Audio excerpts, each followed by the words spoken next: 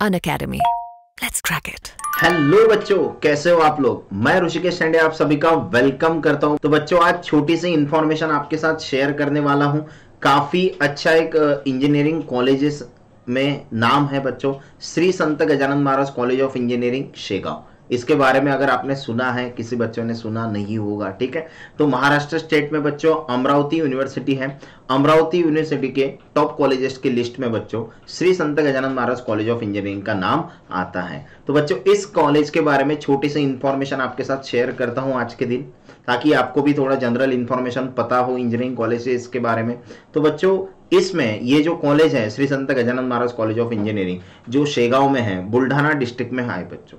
और इस कॉलेज के अंदर काफ़ी कोर्सेज आपको ऑफ़र किए जाएँगे इंजीनियरिंग के लिए। जैसे फॉर एग्जांपल बच्चों, आप यहाँ से आप मैकेनिकल इंजीनियरिंग कर सकते हो इलेक्ट्रिकल इंजीनियरिंग कर सकते हो बच्चों। इलेक्ट्रॉनिक्स एंड टेलीकम्युनिकेशन इंजीनियरिंग है कंप्यूटर साइंस इंजीनियरिंग है बच्चों। उसके साथ ही बच्चों आईटी है। तो इतने ब्रांचेस यहाँ पे अवेलेबल है और जो इसका सीट अवेबिलिटी है बच्चों, हर ब्रांच का 60 है और इसमें जो इलेक्ट्रॉनिक एंड टेलीकम्युनिकेशन नाम का ब्रांच है बच्चों बच्चों, इसमें 120 सीट्स अवेलेबल है।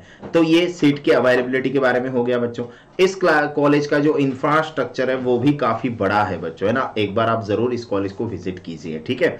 और जो टीचिंग स्टाफ है टीचिंग स्टाफ भी अच्छा है, क्योंकि बच्चों, मैं खुद एस जीएमसी से पास आउट हूँ, ठीक है? तो मैं वहाँ पे पढ़ा हूँ, मुझे पता है टीचिंग स्टाफ भी बच्चों काफ़ी अच्छा है। उसके साथ बच्चों, जो प्लेसमेंट है कॉलेज का, वो भी काफ़ी अच्छा है। टीसीएस आपने नाम सुना होगा विप्रो है ना, ऐसी बहुत सारी बड़ी बड़ी कंपनी बच्चों यहाँ पे आती है और बहुत सारे बच्चों को जॉब ऑफ़र करती है हर साल। मतलब जब आप सेवंथ एट सेमेस्टर में होंगे बच्चों, तब आप कंपनीज़ के इंटरव्यू दे पाएँगे।